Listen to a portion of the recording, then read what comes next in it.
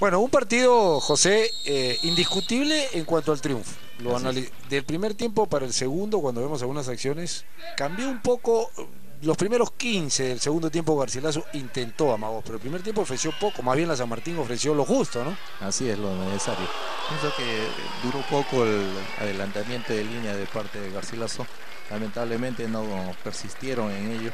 Y pues al final prácticamente San Martín tuvo la oportunidad de hacer varios goles más por, digamos, este, posesión adelantada de parte de, Silva, que se han repetido constantemente, en eso tiene que trabajar mucho más. Pero de todas maneras, ya, eh, un meritorio ganador. Claro, con dos buenos goles, dos buenos goles en el primer tiempo de jugadas elaboradas, un montaño e- excepcional, viene la, la pivoteada de este chico Ugarrilla que no la hizo mal.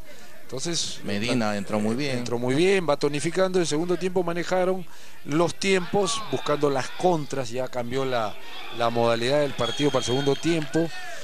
Hubieron unas intervenciones de- de- del arquero Galese, una de muy bien, Piero Ortiz, y luego dos seguidas en dos corners. Así es. Y después ya se fue diluyendo. Y el punto de quiebre negativo para Garcilaso fue ese gol que falla este chico Flor. Totalmente.